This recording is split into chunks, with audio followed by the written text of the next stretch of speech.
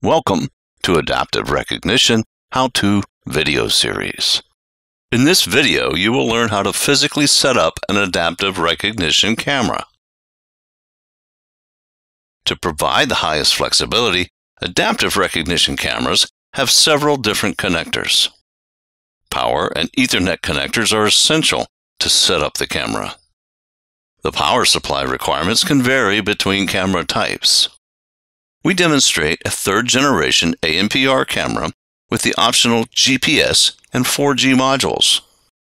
Please check the data sheet on the adaptiverecognition.com website to see the available connection types in cases of other adaptive recognition camera models. The two ports on the right are input-output connectors. Using these, you can connect external trigger sources such as inductive loop, infragate, Doppler radar, and laser.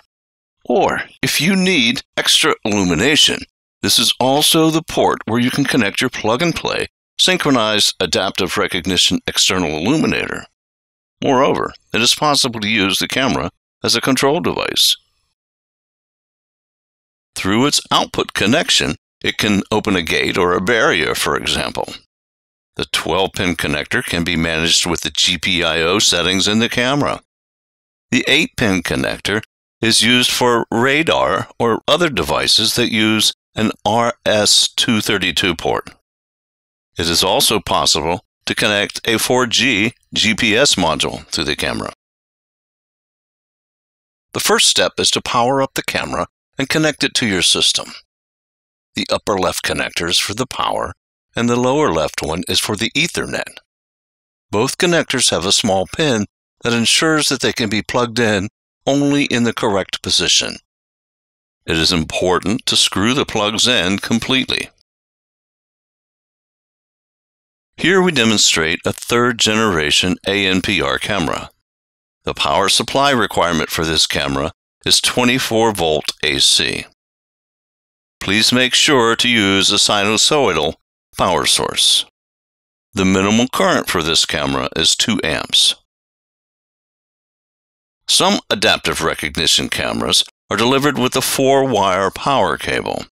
Make sure to connect the two red wires together to one part of your power output and the two black ones together to the other outlet. It's easy to remember red with red, black with black. You might wonder why we require an AC power source to make sure that the cameras are working in the coldest winters and during the darkest hours. We have included a heating element and extra strong LED illuminators in the cameras. These parts require elevated power levels when working simultaneously, which can be provided reliably by an AC power source. ANPR cameras are expected to work outdoors 24 7 day and night, and in any weather. Cameras made by Adaptive Recognition have waterproof connectors.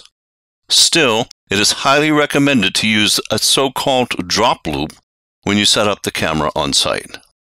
This additional route on the camera leads the rainwater away from the socket. There are two control LEDs on the front of each camera beside the main optics. After you power up the camera, the control LEDs will blink a few times. The startup process takes about 30 seconds. When the camera is ready for operation, both LEDs will be off. Unlike other ANPR cameras, we deliver all of our tolling and access control ANPR cameras with adjustable optics. This makes sure you can freely set up and adjust your camera remotely. Adaptive recognition cameras are IP cameras. It is possible to use them directly connected to a server. They can also work connected to a network. In this case, the camera is connected to a switch or a router.